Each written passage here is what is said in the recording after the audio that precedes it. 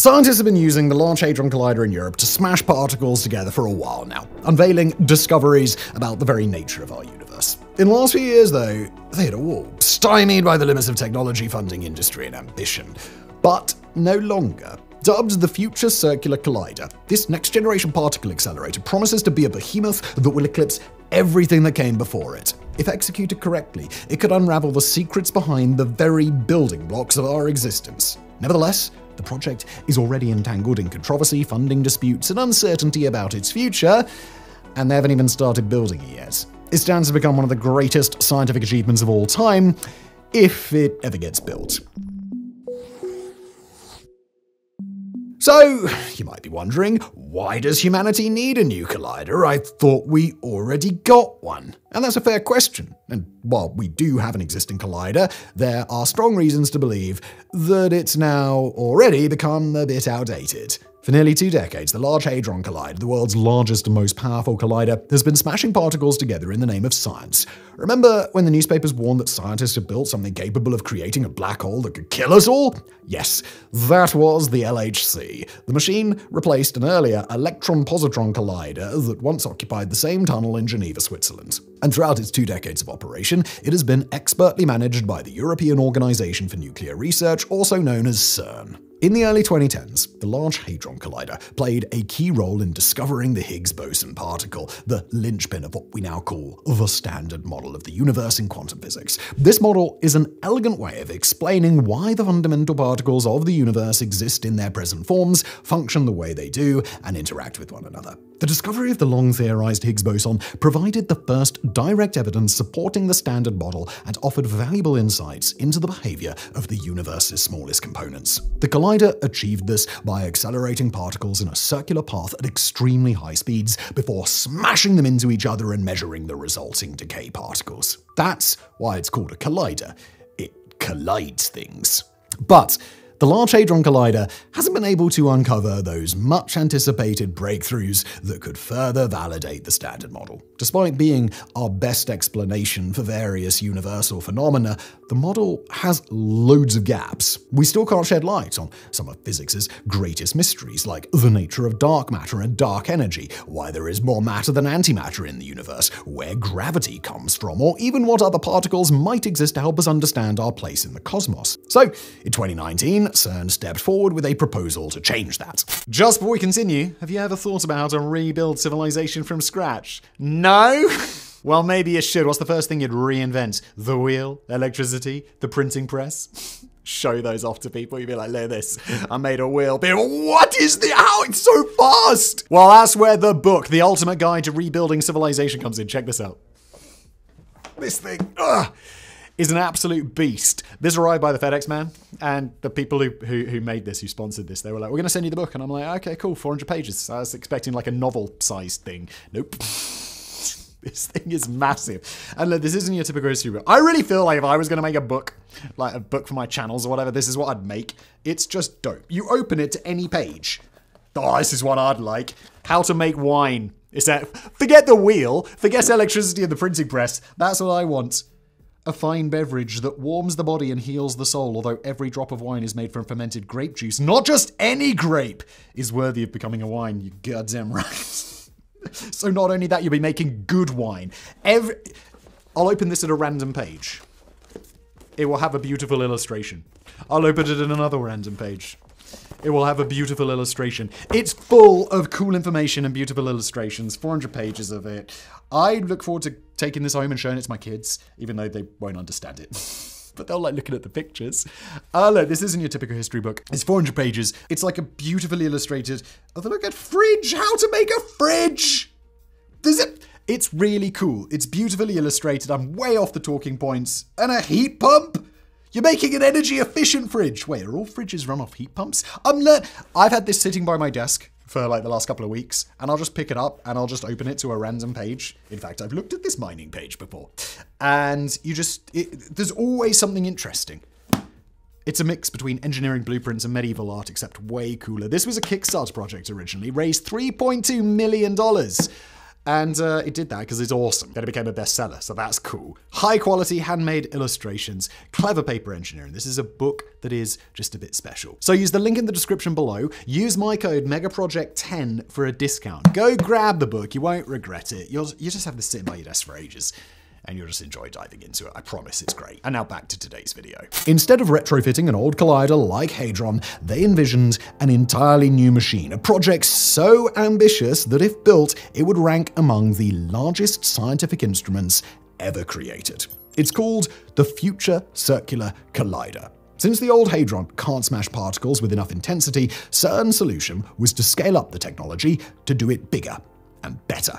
And when it comes to smashing particles, this machine would give the Hulk a run for his money. So, time for a little comparison then. The Large Hadron Collider knocks particles together at 14 tera electron volts, a unit of energy roughly equivalent to 1.6 joules, which means a 14 followed by 12 zeros of energy. In contrast, the Future Circular Collider would be capable of ramming particles into each other at 100 tera electron volts. This means it could smash particles together with roughly seven times more force than the LHC, mainly by using superconducting magnets to steer and focus beams of particles traveling just under the speed of light, which is, funnily enough, about as long as it takes your mum to text me back. The Future Circular... Ollie, man. Random joke slipped in, I love it.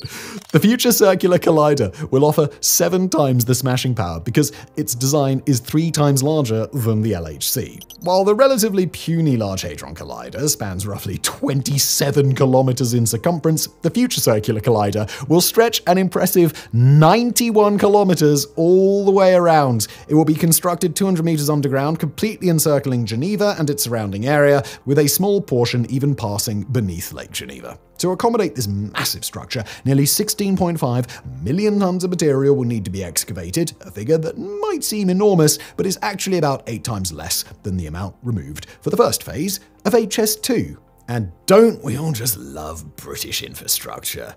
Anyway, CERN estimates that it will take five years to complete all the necessary excavation before the collider can be built in stages. Initially, it will operate on what's known as a Higgs factory, a temporary mode of operation while the technologies needed to realize its full potential are still under development. During this interim phase, the collider will generate and study large numbers of Higgs bosons in the hope that this will enhance our understanding of their role in the universe and, more broadly, improve our grasp of the standard model. The Higgs factory stage may also reveal deviations from standard model predictions, uh, which could provide clues about the existence of new particles and suggests ways to find them. By 2070, the collider is expected to be fully operational, potentially opening up new insights into the mysteries of the universe. Of course, a super mega collider requiring 100 quadrillion electron volts of energy can't simply be powered by solar panels, and it isn't cheap. So the questions remain how will it be powered? And perhaps most importantly, what will this colossal collider cost? Surprisingly, the power requirements aren't as intensive as one might assume. You would expect that something seemingly built only by Iron Man would need a massive amount of energy. However, according to CERN, the Future Circular Collider is designed to use an energy level similar to that of the existing LHC. The anticipated power consumption is expected to vary between 1 and 1.8 terawatt hours per year, while it will operate on a French energy grid that produces over 500 terawatt hours annually. That's still an insane amount of electricity. All in all, though, it should be manageable. But the cost is where the new collider might hit a wall. CERN documents suggest that the first phase alone could cost up to $17 billion. Meanwhile, estimates from accelerator physicist Vladimir Shiltsev at Northern Illinois University and his team indicate that the full project will likely require a minimum of around $30 billion, and in all likelihood, a whole lot more. In comparison, CERN's annual budget is a relatively modest $1.4 billion. Super affordable. Although there will be many years to complete the project, allowing the expense to be spread over time, it will still represent a monumental financial challenge for the organization. Even the feasibility study alone is estimated to cost over $125 million. It's anticipated to begin operations sometime in the 2040s. In fact, even if CERN dedicated its entire annual budget solely to the future collider, it still might fall short of what's needed until the late 2040s. This means extra funding will likely have to come from somewhere in order to keep all the projects running. However, that prospect is likely to upset many countries as they'll be expected to cough up the additional money, especially oh, when budgets are already tight, global issues are expensive to address, and defense spending is on the rise. They might be tempted to secure more funds by promising the Pentagon they can take the fight to Beijing, but I wouldn't hold my breath on that.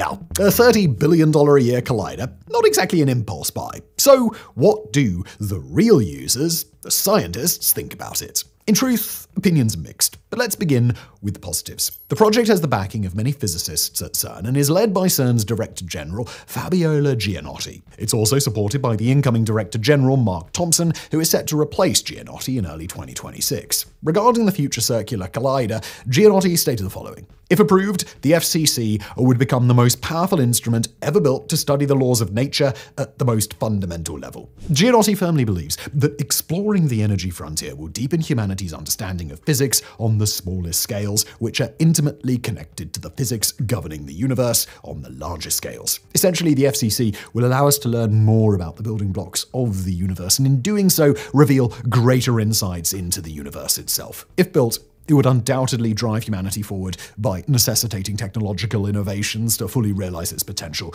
We're talking about advances in cryogenics, superconducting magnets, vacuum technologies, and more. Each of these innovations could have a massively beneficial impact on society at large. Cryogenics might be vital to our understanding of healthcare and other sciences in the future. Superconducting magnets could revolutionize travel and weaponry, and breakthroughs in vacuum technology could lead to more efficient pumping systems or even support space colonization. The essential point is that the future circular collider wouldn't be constructed for its own sake, but for the myriad benefits that it could offer along the way. But not everyone's convinced. Many roadblocks and dissenting opinions surround one of the biggest and most expensive scientific machines ever proposed, primarily due to a problematic mix of absolutely insane costs and politics. Because CERN is an international organization made up of many member countries, each nation must be satisfied with how its money is spent.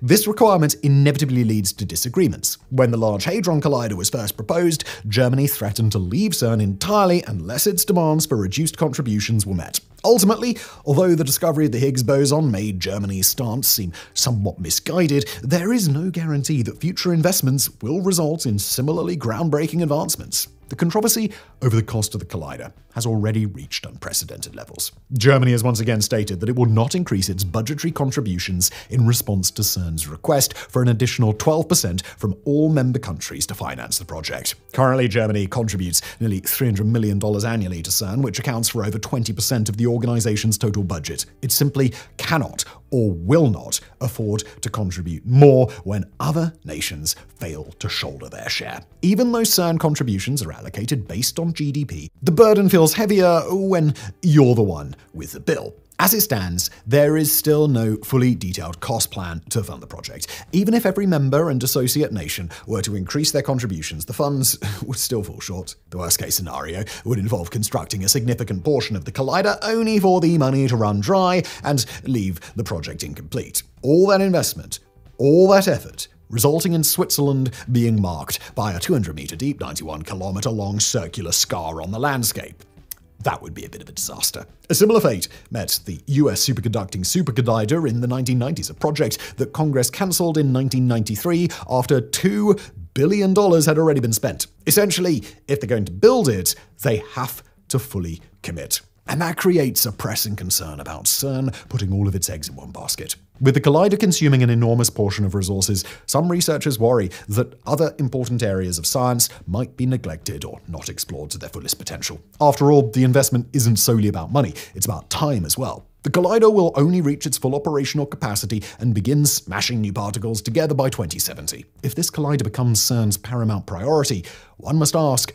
what will happen to other projects over the next half century. Helena Abramowicz, a well known skeptic of the project and a particle physicist at Tel Aviv University, expressed her concerns. She stated, quoting here, the issue is whether the community is willing to sacrifice the next 50 years to get a toy which may or may not be the way for fixing the standard model. She doesn't want to force future generations, the grandkids of researchers, to toil on a project that may not deliver the results some have claimed it would. Moreover, CERN's leadership appears to be railroading the project, creating the impression that the organization, which was built by and for scientists, isn't very interested in the dissenting opinions of its own community regarding the new collider. What's more, the discovery of the Higgs boson represented the high watermark for the Large Hadron Collider, yet it hasn't brought forth any new breakthroughs since its discovery in the early 2010s. Theoreticians have yet to show conclusively that smashing protons together at even higher energies will necessarily uncover new scientifically significant phenomena. Of course, Similar doubts were likely expressed when the Large Hadron Collider replaced its predecessor, and indeed, it delivered on its promises. Nevertheless, the key point remains there's no guarantee, and funding a project costing at least $30 billion on a wing and a prayer isn't going to be seen as a universally responsible investment. Now, there are two factions emerging at CERN over the issue, and the growing divide is increasing the pressure on CERN's leadership. Several individuals who have seen the original strategy documents assert that these materials differ from the course the current leadership appears determined to follow. The original document was reportedly crafted with care to avoid establishing a two stage collider as the top priority, a project that would take decades to become operational. And yet, despite these intentions, CERN seems to be moving precisely in that direction, which calls the entire approach into question. Cynics both inside and outside the scientific community have raised a valid point about CERN and the collider. Scientists, like everyone else, hold biases, one of which is naturally geared toward their own career advancement and the industry's growth. The Future Circular Collider promises job security for generations of scientists in the region, providing a compelling reason to keep the funding flowing. Unlike a linear collider that can handle only one experiment at a time, the Future Circular Collider can conduct four simultaneous experiments. This capability necessitates more staff and researchers to operate and monitor the machine, as well as to analyze the additional data it generates. Moreover, some have confessed to feeling the pressure to support the new collider. After all, an organization that is constantly embroiled in disputes over its most significant potential project hardly conveys the image of a stable funding proposal. Whether we like it or not, vested interests often come to be seen as more important than the pure scientific breakthroughs the new collider might yield. Ultimately, if this project is built, it will provide us with significant benefits along the way. Yet the key question remains with a price tag of billions of dollars, is it really worth the investment when that money could be used somewhere else? This is the decision that CERN have to confront. So, what does the future hold for the future circular collider? For now, it will continue on its current course, assuming approval, though that approval not yet guaranteed. CERN has set the feasibility study's completion date for early 2025, so we could have an update at any time. Based on what we know so far, Nothing in the study has raised concerns that would force the organization to dismiss the project from either a technical or scientific standpoint. Between 2027 and 2028, CERN's council, comprising delegates from all 24 member states, will decide whether to move forward. Ultimately, the fate of the future circular collider rests in their hands. Thank you for watching.